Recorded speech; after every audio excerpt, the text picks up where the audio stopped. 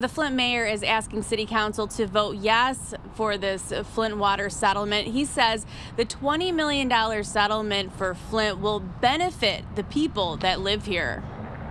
In my mind, this is a, a no brainer. In the $640 million lawsuit arising from the Flint water crisis, Flint is on the hook to pay $20 million of that. Mayor Sheldon Neeley says they have the opportunity to use the city insurance to cover the costs. That will only happen if council approves it. With the dollars that's being offered from our insurance carrier.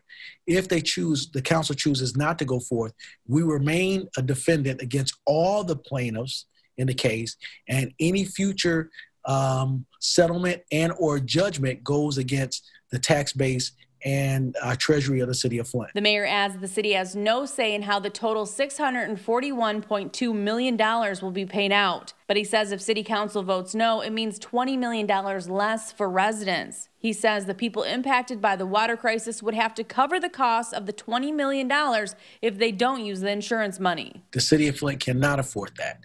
Um, we're, we're, a cash strapped city as is now. Um, and what would happen is that um, in, in a sense in itself, the city of Flint residents are suing itself because it, it comes from the tax base and our our uh, treasury uh, of the city of Flint, and we generate our revenues primarily from our tax base. If the insurance doesn't get used to pay this massive piece of the lawsuit, the cost will fall as an assessment on tax bills, according to the mayor. City council needs to move forward. The clock is ticking, and this is the most important vote that this council will take. The mayor says while the city has no say in how that money will be distributed, he says it will go to adults who have paid water bills, adults who have rented and exposed children, and education. The city council moves to vote on this measure on December 14th. In Flint, Rachel McCrary, WNEM TV 5.